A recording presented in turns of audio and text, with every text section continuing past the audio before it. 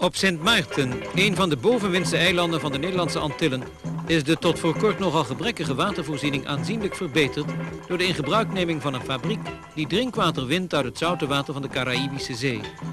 Die aanwinst is niet in de laatste plaats te danken aan het nog altijd toenemend toerisme dat aan comfort en hygiëne steeds hogere eisen stelt.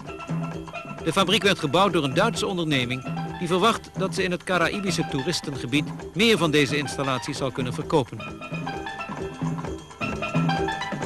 Het principe van de waterfabriek is eenvoudig. Het binnengepompte zeewater wordt verhit tot stoom.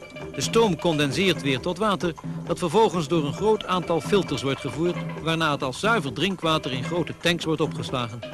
Bevolking en toeristen hebben nu de beschikking over 1 miljoen liter drinkwater per dag.